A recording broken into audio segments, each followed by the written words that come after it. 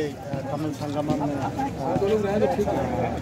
को उसमें भाग लेने के लिए और मैं आज और कल जो कार्यक्रम जो हो रहे हैं तो मैं जितना मैं देख पाऊँगा, वो तो मेरे लिए बहुत रुचि की बात है, बहुत खुशी की बात है। और आज तो कल मैं, इसके बाद मैं विश्वविद्यालय में भी कुछ जो विद्यार्थी लोग जो हैं, उनके साथ मुझे इंटरेक्शन का मौका मिलेगा। पर ये जो संगमम जो हो रहा है ये एक किस्म से बहुत बड़ा इनिशिएटिव है प्रधानमंत्री का, कि हमारे यहाँ अलग अलग राज्य होते हैं कभी कभी एक दूसरे के बारे में उतना परिचय नहीं होता, उतनी जानकारी नहीं होती जितना होना चाहिए।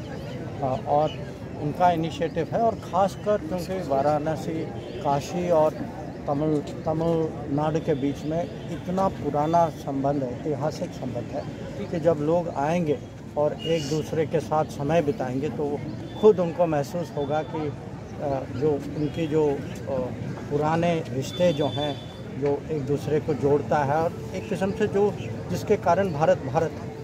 तो हम, हमें पूरी आशा है, अपेक्षा है कि ये जो कार्यक्रम जो चल रहा है महीने के लिए, ये बहुत ही सफल होगा। और हम खुद, मैं अभी वाइस चांसलर साहब से भी बात कर रहा था। सबके लिए एक किस्म से ये नया अनुभव है कि कुछ थोड़ा सा कहीं थोड़ा कुछ ज़्यादा जाने कुछ पहले पता नहीं था। और अगर ये हम लोगों को हो रहा होगा तो आप देखिए कि युवा पीढ़ियों को तो और भी ये एक किस्म से नया एक्सपीरियंस हो रहा होगा। तो बहुत खुशी है आज इसके साथ जुड़ने का मुझे अवसर मिला। सर काशी में जी ट्वेंटी सम्मेलन होने जा रहा है। हाँ। काशी ही का हो जाएगा। नहीं ऐसा है कि जी ट्वेंटी सम्मेलन जो है ये पूरे देश में मनाया जाएगा। और मैं जानबूझ के मेरा शब्द मनाया जाएगा। कि आ, तो इसमें जो है हर राज्य में और करीब पचपन शहर होंगे देश के अलग अलग प्रांतों में।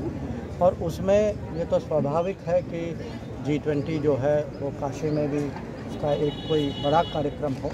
क्योंकि आप जानते हैं काशी का महात्मा अब मुझे तो बताने की ज़रूरत नहीं है आप मेरे से ज़्यादा जानते हैं। तो हमारी हमारा आयोजन है कि जो डेवलपमेंट मिनिस्टर्स डेवलपमेंट मिनिस्टर्स का जो प्रोग्राम जो है वो हम सोच रहे हैं कि काशी में करें। उसकी अभी प्लानिंग जारी है। तो ये भी एक कारण है कि मैं आया था क्योंकि ये मीटिंग जो है मैं खुद विदेश मंत्री के तहत मैं ये इस मीटिंग का जो अध्यक्षता मैं करूँगा। तो आप देखेंगे कि मैं यहाँ बात डाउनलोड करें अमर उजाला ऐप। और पाए खबरें लगातार। अगर आप ये वीडियो YouTube पर देख रहे हैं तो हमारे चैनल को सब्सक्राइब करें और बेल आइकन को दबाना ना भूलें। अगर आप Facebook पर यह वीडियो देख रहे हैं तो हमारे पेज को लाइक करें।